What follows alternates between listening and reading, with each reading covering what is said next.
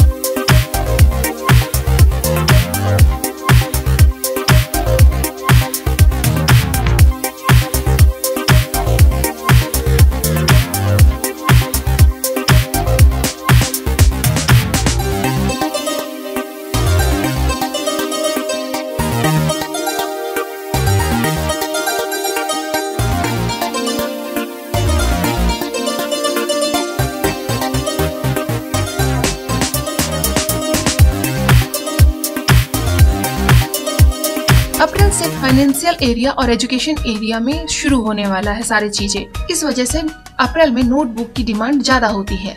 यदि आप जनवरी में ये बिज़नेस शुरू करते हैं तो दो महीने में आप अपना बिज़नेस अच्छी तरह जमा सकते हैं। इन दो महीने के दौरान आप अपना नेटवर्क भी खड़ा कर सकते हैं और अच्छी खासी प्रोडक्शन भी कर सकते हैं। ताकि डिमांड होने पर आपके पास नोटबुक की कमी ना रह जाए। इसके लिए कितने पैसे की ज़रूरत होगी? आइए देख लेते हैं।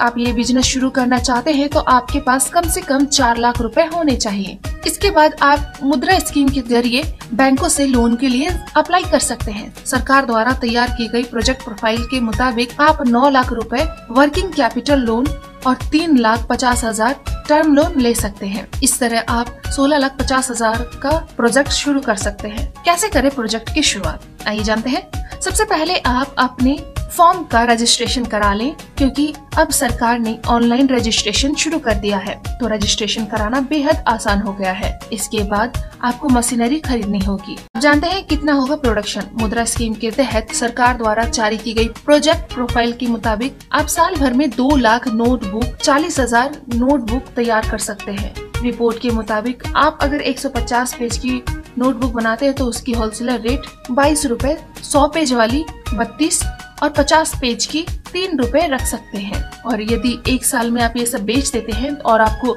लगभग सात लाख का मुनाफा होता है तो ये आपके लिए बहुत है और ये साल दर साल बढ़ता ही जाता है। तो ये थी दोस्तों हमारी आज की टिप्स, जिससे आप बहुत ही जल्दी अपना बिज़नेस शुरू कर सकते हैं। और हमारे चैनल को लाइक कमेंट एंड सब्सक्राइब करना ना भूलें। Thank you